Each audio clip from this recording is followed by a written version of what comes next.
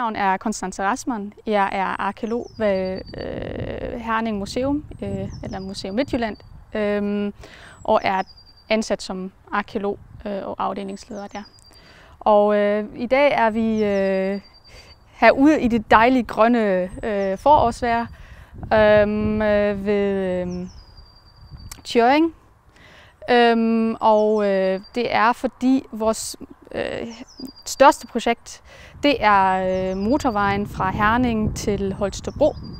Øh, Herning motorvejen. ja, øhm, og øh, vi er lige i gang med at forundersøge, om der er nogle arkeologiske fortidsminder, der ligger på øh, motorvejstracéen. Sådan en forundersøgelse, hvad, hvad går den ud på, hvis du skal beskrive den? Øhm, altså en forundersøgelse er egentlig et, øh, en, en ret sidste del er en meget lang proces, fordi øh, normalvis er det sådan, at bygherren kommer og, og fortæller os, om han, han gerne vil bygge noget, og så går vi i gang med at øh, undersøge, om der er noget arkeologisk, øh, om der er nogle arkeologiske fortidsminder der, hvor han forventer det. Så vi laver sådan en arkeologisk analyse i arkiverne. Og så præsenterer vi det og siger, at vi forventer faktisk, at der kommer noget, eller vi forventer ikke, at der kommer noget. Og i den her tilfælde, så vidste vi godt, at der er en masse, når man bygger en lang, langt uh, tracé motorvej gennem landskabet, så er det bare, at vi rammer nogle ret relevante fortidsminder, vi skal udgrave. Og øh, ideen er jo egentlig, at vi kan sige, øh, så går ud og graver og siger, okay, det vi troede, øh, efter vi har kigget på arkiverne, øh, det er faktisk rigtigt, og så har bygherren muligheden til at flytte øh, sit byggeprojekt. Det er ideen. Men en motorvej, som vi ved, det bliver ikke bare flyttet. Så, øh, så, og, og det vi gør lige nu, det er faktisk at etablere, hvor er der nogle områder, hvor vi skal udgrave. Er der nogle områder, vi kan faktisk udgrave i forundersøgelsen, eller er der nogle områder, vi allerede kan frigive, så at han kan gå i gang med at bygge. Og øh, en forundersøgelse, det er ikke sådan en udgravning, øh, det er, at vi ligger faktisk grøfter i landskabet i, i vores ansvarsområde, så er de 4 meter bredt og har en afstand af 10 meter, og så kigger vi. Og så har vi øh, Øhm, også nogle nye teknikker, vi faktisk øh, øh, sådan prøver, hvordan, øh, hvordan øh, giver det nogle resultater. Det er de geomagnetiske undersøgelser, hvor vi faktisk øh, kigger, om der er nogle magnetiske forstyrrelser i undergrunden. Og hvis vi sammenligner det så med vores søgegrøfter, så kan vi sådan se lidt mere præcis, hvad der skal forventes. Med sådan nogle magnetiske afvielser, hvad, hvad vil de vise? Det, det, det er meget forskelligt. Altså for eksempel så... Øhm, altså, øh, der findes nogle type, det, vi kalder det kogestensgrupper, og det er sådan, øh, ja, der, der bliver måske kogt noget den gang, og der er sådan mange sten i det. Så vi har sådan en samling af sten, og når vi går over det, så er det jo, har det jo en anden magnetisk signal end det undergrund, der er ved siden af den. Så det vil så, sige, at det er faktisk for sætte det sådan lidt på spidsen, så I laver sådan en, en røntgen-fotografering af jorden, hvis man kan sige det sådan. Præcis. Vi skubber sådan en øh, 2,5 meter bred øh, apparat over, over undergrunden, og så kan vi scanne det og se, øh, uden at vi nødvendigvis graver det, at der er noget. Og så hvis vi så supplerer det med søgegrøfterne, så har vi en lidt mere præcis forestilling. Fordi nogle gange, så finder du noget i søgrøfterne, men du er ikke rigtig sikker om, er der noget hvis, altså, mellem søgrøfterne. Og så her har vi muligheden til at kigge, og det går faktisk ret hurtigt. Øh, det er med direkte GPS-opmåling. Det er en, kun én person, der er i gang med det. Så, så det er faktisk, øh, altså, vi er faktisk ret glade for det. Øh, og øh, jeg tror, at Vejdirektoratet er også ret glade for, at vi gør det. De har allerede bedt os om, at vi skal undersøge nogle områder, øhm, for at vide, om, om der kommer noget. Og Kulturstyrelsen øh, synes også, det er en, en god mulighed at, at teste den der nye metode. Eller, den er ikke så ny, men øh, teknikken er altså nu så langt, at den ikke koster så meget mere, som det gør for 10 år siden. Nu sagde du før, at, øh, at bygherren han havde mulighed for at få sådan en vurdering af, der hvor han gerne vil bygge, og så at det her det er jo en motorvej, der kan man ikke bare lige flytte rundt på det. Men men er det kun, når det er sådan nogle store projekter, man skal have lavet, at man skal have lavet en, en forundersøgelse og lavet nogle analyser af, af undergrunden? Eller? Teoretisk er det jo øh, enhver indgreb i jorden, der skal øh, gå over bord af en arkeolog. Og der findes selvfølgelig forskellige muligheder. Øh, du kan som privat bygherre, kan, du, øh, kan man komme og sige, øh, hvordan ser det ud? Jeg vil gerne bygge en staldbygning som landmand. Hvordan ser det ud? Øh, men det er faktisk også en, øh, en hvis man gerne vil danne sig et indtryk, så findes der også en database, hvor man allerede kan kigge, før man kontakter en arkeolog, om der er noget. Øh, men øh, teoretisk set alle, alle ting. Øhm, og der, der har vi sådan forskellige muligheder. Som sagt, nogle gange ser vi jo, byg du bare, der er ikke noget, det ved vi, eller vi har allerede udgravet øh, i området. Og det kan, altså som sagt, det er både private bygherrer, men også kommuner og staten. Øhm, så. Vil det så sige, at hvis man nu køber en grund og tænker, nu vil jeg gerne bygge et, et, en villa herude, jeg har lige købt mig en byggegrund, er det så tjekket i forvejen, eller skal man så ud og hente øh, oplysninger på det? Øhm, nu ved jeg selvfølgelig ikke, hvordan det er i andre kommuner, men øh, i Herning, øh, i Kasprende Kommune, der er øh, de grunde, der bliver solgt af kommunen, de er som regel øh, blive gennemtjekket af arkeologer det er ikke noget, man behøver at bekymre sig om. Nej, det behøver man ikke. Altså, det, det, det, har de, øh, det, det, det er kommunen godt klar over. Øhm, at det kunne jo være, det er jo nogle omkostninger. Øhm, vi er ret lille i forhold til, hvad det ellers vil koste, men selvfølgelig som privat bygherre er det alligevel ikke noget, man øh, bryder sig om, Nej. måske. Nej. Tænker jeg. Nej. men når vi, så, øh, når vi så taler motorvej og de her store byggeprojekter. Altså der må jo være en eller anden tidshorisont for jer på at, øh, at have lavet sådan nogle undersøgelser. Ja. Hvor lang tid tager det for jer? Altså øh, nu øh, her har vi øh, en, en horisont, øh, der går indtil august 2014, altså i år, og vi startede i februar. Så vi, det er en ret kort periode, vi har. Og så ansætter vi selvfølgelig en masse mennesker, fordi vi selv som museum ikke kan klare det.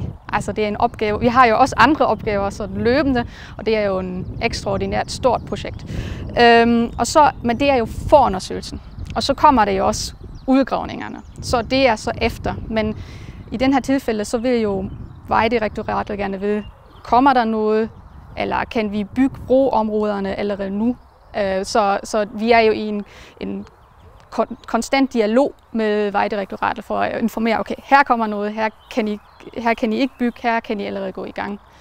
Ja. Øhm, men I så. havde vel også, du snakkede om det der med, at man kunne gå tilbage i arkiverne og se, så I havde vel også en eller anden idé om, at hvis vi nu undersøger det her område, så kan vi hurtigt frigive det? Ja, ja øhm, men øh, altså vi som mennesker er så upåberegnelige, kan man sige, og det var de også i, i forhistorien, så selvom vi altid tror, at vi har en idé om, hvordan det ser ud, så bliver vi rigtig tit meget overrasket, fordi i områder, hvor vi tænker, her kommer noget, der er vi sikre på, natter. Og i andre områder, hvor vi tænker, ah nej, der, det går hurtigt, så lige pludselig, så dykker der alligevel øh, noget op, vi ikke havde regnet med. Men normalvis, så, så er vi faktisk som arkeologer ret gode til at pege på områder, hvor vi forventer, at der kommer noget.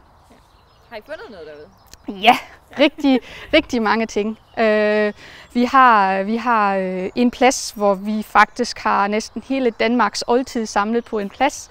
Øh, og det er, det er vi selvfølgelig som arkeologer altid meget begejstret for, fordi vi finder tingene ud, vi ikke vidste før. Øhm, og så har vi også nogle pladser, hvor vi for eksempel gravplads, og det har vi faktisk af den her periode, det har vi ikke særlig mange her i Herning, Ikast, Brande Kommune. Så, så, så, så ja, og så har vi også en masse små sager, vi sådan set kan afslutte undervejs.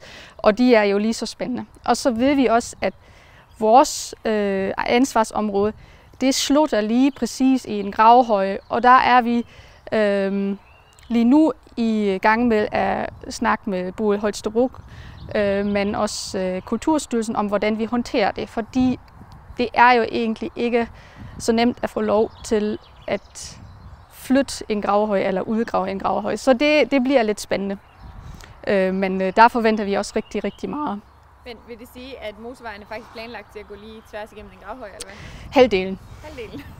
Halvdelen er en gravhøj, og øh, det er øh, det er lidt kritisk, kan man sige. Så der forventer vi, altså hvis vi skal udgrave, så ved vi, at der kommer noget. Øh, men egentlig er vi jo som arkeologer, øh, vi vil jo helst bevare os for eftertiden. Så det er sådan en sådan lidt følelsesmæssig balance, øh, hvordan, vi, øh, hvordan der kommer til at ske der. Så jeres udspil er, at de skal tage at flytte motorvejen rundt om den? ja, men det har prøvet, mange har prøvet det, så, så jeg tror, det tror ikke, at vi arkeologer kan øh, sætte en stopklods. Nej. Så. Men er der ikke også noget udfordring i forhold til kommuneskæld og sådan noget? Der er på et tidspunkt, hvor du siger, at der, der stopper jeres ansvar, så må Holstebro tage over? Øh, nej, jamen altså, vi arbejder jo godt sammen med Holstebro Museum, så jeg tror egentlig ikke, at, øh, at, at det kunne blive et problem. Øh, vi har sådan set ansvar for højen. Øhm, men, men øh, fordi den ligger jo lige præcis på kommuneskab, så er det også en spændende mulighed til at arbejde sammen, fordi det er jo tit, at så arbejder vi i vores område, og de arbejder i deres område, men her, her har vi faktisk noget, hvor vi kan arbejde sammen med, og det er vi faktisk allerede i gang med, så det, det glæder vi os meget til, at, det, at der kommer nogle indspark også fra andre sider. Så det tror jeg ikke, at det bliver problematisk. thank you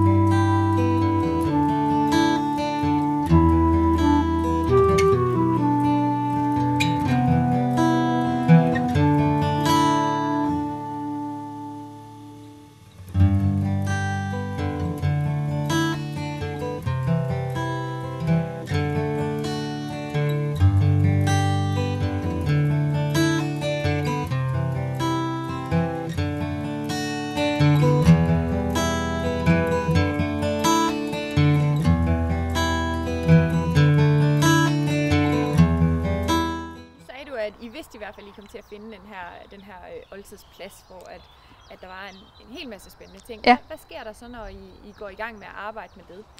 Altså nu er det jo sådan, at vi har de der søgrøfter, og så prøver vi at, øh, at vurdere, hvor stort et område er der. Hvad, kan vi, hvad, hvad forventer vi? Og så, så planlægger vi både et budget, øh, så har vi en så, såkaldt følgegruppe, øh, hvor vi får lidt faglig indspark og siger, okay, hvordan Hvordan vil du gøre det? Øhm, og så, øh, så, så udvikler vi nogle strategier, både udgravningen, hvordan udgraver man det, fordi der kommer nogle ting, man ikke rigtig forventer, så det er altså sådan rent te- teknisk metodisk, øh, men også fagligt. Øhm, og det bliver så planlagt, og så går vi i gang, og så som altid med en strategi, den bliver så revurderet mange gange, fordi man opdager, at det ikke, alligevel ikke er som vi troede, det var. Så, øh, men så, altså det er, at vi udvikler et budget, en strategi, øh, giver os en tidshorisont, og så skal vi nå det i den der tid. Og når man så ved, at sådan et sted kan jo ikke blive bevaret, fordi det skal komme til at ligge en motorvej henover, ja. kan man så flytte tingene? Der er vel også en masse ting, som er afmærkninger i jorden og sådan noget. Det kan man vel ikke bare tage med? Øh, nej, altså det, så, på udgravningen så er det jo, at vi vi både måler ind, alle altså med GPS, så at vi har planer bagefter, så bliver det fotograferet, øh, nogle gange tegnet. Øh, altså de der anlæg, vi har i undergrunden, vi ikke kan tage med. Øh, og så er fundene, de bliver så, de tager vi så med. Øh, og de skal jo, nogle gange skal de til øh, altså de skal jo også konserveres, så skal de sendes ind og konserveres. Og så er der også nogle øh, naturvidenskabelige øh, prøver, vi tager for at se, øh, er der nogle kor, altså er der korn, er der ukrudt i undergrunden, er der pollen, kan vi, kan vi rekonstruere landskabet. Så det er sådan mange forskellige ting, vi så afprøver. Øhm, og der arbejder vi ret tæt sammen med øhm, Moskom, Moskom Øh, der kommer faktisk en, øh, en arkeobotaniker ud og, og kigger øh, på stedet øh, på tingene, fordi ja, vi som arkeologer har jo ikke altid den her kvalifikation nok til at vurdere det selv. Så det, det gør de så. Så man hiver nogle ekstra ressourcer ja. ind til det? Ja, ja, præcis. Og så efter øh, man har udgravet det, så er jo også, så skal man jo også skrive en rapport om det. Altså hvad har vi fundet? Det skal altså både billederne, billederne og, og, og fundene, de skal jo også være sådan åbent tilgængelige for for andre, og, og øh, hvis vi har rigtig meget øh, held, så får vi måske ekstra penge ind, at vi kan sætte os ned og forske. Vi har for eksempel en øh, ekspert i, i stenalderen, og han vil selvfølgelig gerne se, hvordan, altså, hvilken slags teknikker bliver brugt på flintgenstande. Men det har man jo ikke tid til øh, i sådan et, og heller ikke penge til i sådan et normalt budget, så der skal vi gå og, og finde det andre steder. Hvad vil man forvente at finde øh, på sådan et sted? Hvad, hvad er det, I regner med at komme hjem med? Øhm, altså på den der plads, vi har derude øh, med hele Danmarks øh, oldtid, der, øh, der forventer vi, altså vi, vi har allerede fundet en masse flintgenstande øh, i forundersøgelsen. Så det forventer vi, det fortsætter. Og øh, så, så håber vi selvfølgelig på, på øh, korn, og altså sådan, at vi ved, hvad de har spist. Så forventer vi keramik, og hvis vi er rigtig heldige, er der mås- måske malskorper på, at vi også kan sige noget om deres madvaner. Øhm, knoglemateriale, det er ikke, det er ikke så godt. Øh, undergrunden, den er meget sand, øh, sandagtig, så, så det, det forventer vi ikke, men vi håber, øh, at vi finder en anden hammerumpige måske. Øh, det vil jo være dejligt. Øhm, og jeg, øh, som er specielt interesseret i bronzealder, jeg håber selvfølgelig lidt på, at vi finder nogle bronzegenstande. Så det, øh, men altså for det meste realistisk, hvis jeg ikke drømmer, så, så tror jeg, at det bliver flint og keramik. Ja. Altså, når man, når man så finder sådan et sted, og, og der er en masse spændende ting at, at tage fat på, strækker det sig så typisk over mange år, hvor man kan sige, at det her er en lang, lang, lang periode, der har boet mennesker her, eller er det typisk mere sådan øh, snævert, at øh, om det her det er altså det, det er en kort periode, der har boet nogen her, vi kan finde, vi kan finde ting, og vi kan se, at de er alle sammen inden for sådan en rimelig snæver overrække? Øhm, altså der findes, øh, altså for eksempel i ældre stenalder, hvor mennesker er meget mere mobile, de, har, de foretrækker nogle pladser, der ikke nødvendigvis bliver besøgt senere, altså i, i bronzealderen for eksempel.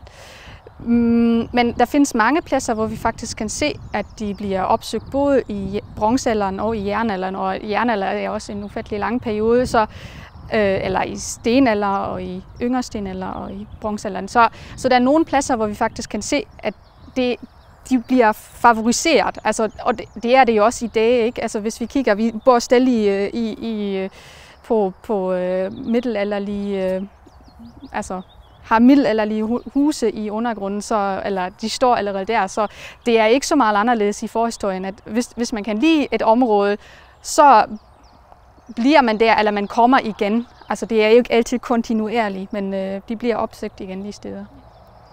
Er det problematisk, den her ting, altså nu i forhold til øh, forhistorien, og, og man kan ikke bare man kan ikke bare flytte de her øh, fortidsminder, og man kan ja. ikke bare flytte gravhøjen osv. Er det problematisk, at der kommer nogen og trækker nogle streger og siger, vi skal have en motorvej her? Altså, der, der må jeg sige, at det er to ting. Altså, selvfølgelig som arkeolog er jeg jo begejstret for, hvis jeg får lov til at gøre det, jeg synes er rigtig, rigtig sjovt. Nemlig at grave og finde tingene og røre ved tingene, der ikke bliver rørt ved altså for tusind år så det, det, det er jo fantastisk, en fantastisk oplevelse. På den anden side, så, så er jo min opgave egentlig, at jeg bevarer tingene øh, så godt som muligt. Og hvis de ikke kan bevares, så skal jeg udgrave det. Og så, så, så er der sådan to hjerter, kan man sige, der banker. Øhm, det ene er, at jeg vil bevare, og det andet er, at jeg også synes, det er spændende. Og jeg håber for nye resultater og nye, øh, nye ting, vi finder frem. Så, så, så man kan sige, jo, det er problematisk, øh, men, øh, men det er jo, altså, sådan er det bare. Og, og, vi, og vores opgave er så at, at bevare det, altså dokumentere det så godt som muligt. Og, og det tror jeg også, altså vi har jo ansat en masse dygtige arkeologer, og de, øh, de bestræber sig øh, jo på at, at virkelig gøre det så godt som muligt, så at man om 200 år kan komme tilbage og vide, hvad det var, selvom det ikke ligger der på stedet længere. Så. Nu viste du altså lige hurtigt rundt i huset her ja. øh, før, og, og der var øh, rum fyldt med jordprøver og ja. en masse mennesker, der arbejdede flittigt på, på det her projekt. Så jeg tænkte, om du ikke ville, øh, du fortalte også, at, at I havde noget udstyr til at stå derinde, så I kunne øh, fremskynde processen lidt ja. i forhold til, ellers kan, vil, du, øh, vil du tage os med ind og vise? Det, det vil jeg da gerne. Ja. ja.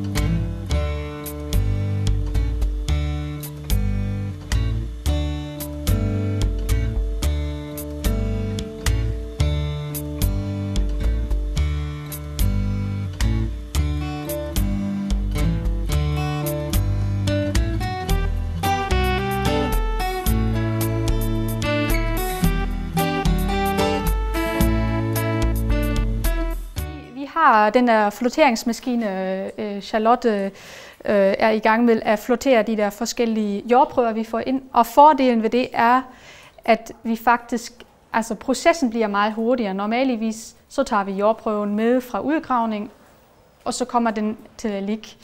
Og så går der meget lang tid, indtil den øh, bliver gennemset. Øhm, og øh, her gør vi det med det samme, og det betyder også, at vi kan vurdere, om det vi har set i felten, er der noget, vi burde gå videre med? Øh, skulle vi finde nogle øh, andre øh, altså metoder frem øh, senere hen? Eller er det faktisk god nok, og vi kan bare sige, okay, den der øh, boplads, den har vi faktisk undersøgt så godt som muligt, så vi går bare videre. Øhm, og man kan jo finde, altså finde ud af trækul rigtig, rigtig mange ting. Øh, hvordan så det ud denne gang? Var der allerede hede, eller var det ikke det? Øh, hvilken slags øh, træ brugte de til at lave mad med? Er det en forskel på gravpladser? Hvilken slags træ de bruger der eller her? Øh, hvis vi har for eksempel korn, så, så øh, er det jo øh, materiale, vi også kan datere med C14-datering. Så der er, det er rigtig meget potentiale i det øh, øh, at finde trækul. Øh, meget mere, end man umiddelbart vil tro. Så. Og selvom man så ikke finder noget, så kan man vel også få noget ud af det? Øh, og hvis vi ikke finder noget, så, så var de måske, hvis vi har et øh, husguld, så var de måske meget renligt. Det er jo også, øh, altså de, øh, eller det kan være, at vi kigger på jorden og siger, okay, med den der undergrund, der skal vi faktisk ikke forvente noget, fordi det ikke er bevaret. Øh, men ja, altså, øh, det, det, at ikke finde noget er jo også et, øh, et resultat, det kan man vel sige, ja. Jeg hedder Charlotte Overgaard. Jeg er museumsassistent og arbejder sammen med arkeologerne på motorvejsprojektet. Og øh, jeg står for at tage imod de fund, arkeologerne kommer med, og behandle de jordprøver, de tager. Og jordprøven, det er det, jeg står og behandler her, laver en flotering på. Når der kommer en jordprøve ind, så bliver den øh, tørret, og øh, når den er rigtig godt tør, så kan man hælde den i et floteringsanlæg som det her, og så øh, sorterer vi øh, trækhullet fra.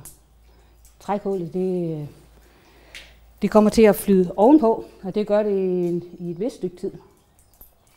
Så man skal også man skal lige sørge for, at øh, det kommer op og flyder, og så skal man have det, øh, skal man få det til at flyde hen i det net, jeg har hen for enden af, af anlægget.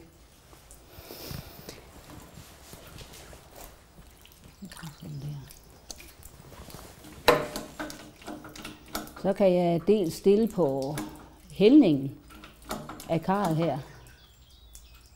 Sådan. Så der kommer lidt fald på. Sådan.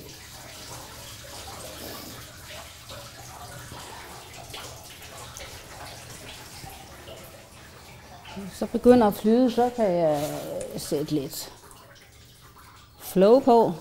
Så kommer noget vand. Den starter op hernede.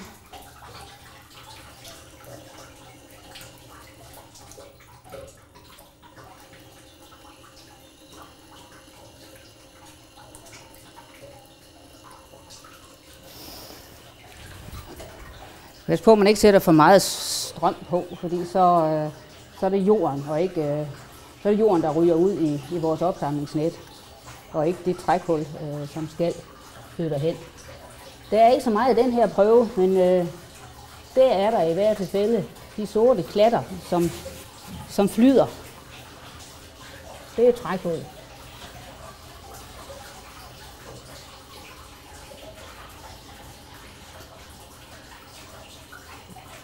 Det er en proces, som øh, egentlig skal stå stort set og passe sig selv. Man skal selvfølgelig holde øje med, at der kommer det ud af det, det skal. Og det ikke bliver øh, fanget længere ned i karret her.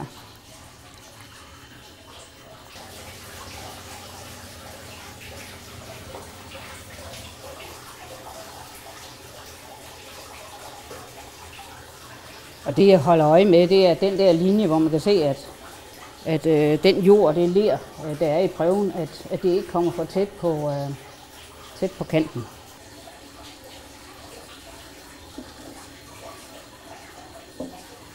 Jeg vil så røre lidt op i, øh, i jorden her en gang til, for at, at sikre mig, at øh, det sidste trækhul bliver øh, frigjort. Og det kommer så hen i nettet. Og øh, det er så opsamlings, opsamlingsnettet.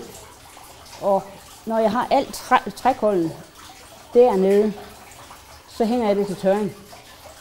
Og øh, det gør jeg i første omgang, øh, lige herovre ved siden af. Det er det første, vi får ud at prøve. Øh, det næste, der så sker, når vi har sikret os trækålet, det er, at, at den jord, grus, sand, eller hvad vi har tilbage dernede, at, øh, at det skal vi kigge efter. Der kan godt være nogle, der kan godt være nogle te i, der kan være nogle fund i, måske nogle øh, skår, vi har overset i første omgang, altså potteskår. Øh, der kan også være øh, tegn på andre ting, så det samler jeg også fra. Øh, og så får vi øh, naturvidenskabelig afdeling på Mosgård til at, at se det efter. Og øh, det er også på Mosgård, man undersøger øh, vores træ, trækul. Motorvejen er jo opdelt i forskellige etapper, og øh, lige nu er vi i gang med den såkaldte etape 4, øh, og det er øh, øh, her, vi, vi skal gå hen nu. Øh, og hvad vi ser her, det er sådan et øh, luftfoto af området, og så har vi plottet øh, den der motorvejstracé på den. Og øh, så har vi også øh, allerede øh, lagt nogle, øh, for eksempel nogle funde, hvor vi vidste, at der kommer nogle arkeologiske øh, øh, funde frem. De har vi også plottet på øh, kortet. Og så ser I også øh, sådan noget øh, tæl her, og det betyder, at øh, øh, Martin han har kigget på, på jordkvalitet, fordi det tit kan være en indikator for, at der er sket rigtig meget arkeologi øh, eller forhistorisk øh, aktivitet i det her område. Og faktisk i det her område, så har vi nogle af de højeste øh, altså boniteringer, bliver de kaldt, øh, i vores område. Så vi, vi, vi, forventer, at, vi forventer, at der kommer rigtig meget, og øh, da vi kom derud, der var der også rigtig meget. Øhm, øh, så så det, øh, det er etape 4, vi skal ud til nu og se lidt på det.